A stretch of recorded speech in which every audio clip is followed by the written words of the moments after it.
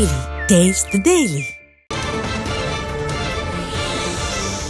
தூர்தர்ஷன் லட்சணையில் காவிக்கரையை அடித்திருக்கிறார்கள் என முதலமைச்சர் மு க ஸ்டாலின் கண்டனம் தெரிவித்திருக்கிறார். அனைத்தையும் காவி மயமாக்கும் பாஜக சதித்திட்ட திட்டத்தின் முன்னோட்டம்தான் இவை என்று முதலமைச்சர் மு க ஸ்டாலின் தனது கண்டனத்தை பதிவிட்டிருக்கிறார். தகவல்களோடு செய்தியாளர் ரமேஷ் இணைந்திருக்கிறார். முழுமையான விவரம் என்ன ரமேஷ்?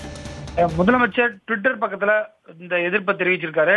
உலக பொதுமுறை தந்த வள்ளுவருக்கு காவி சாயம் பூசினார்கள். தமிழ்நாட்டின் ஆளுமைகளின் சிலைகள் மீது காவி பெயிண்ட் ஊற்றி அவமானப்படுத்தினார்கள். வானொலி என்ற தூய தமிழ் பெயரை ஆகாசவாணி என சமஸ்கிருதமாக்கினார்கள்.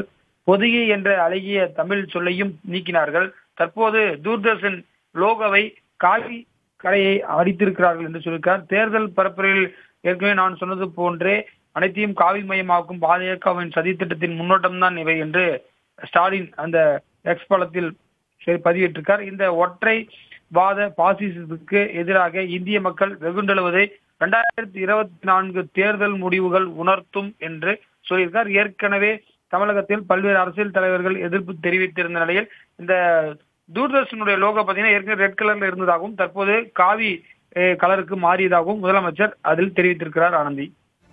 தகவல்களுக்கு நன்றி ரமேஷ்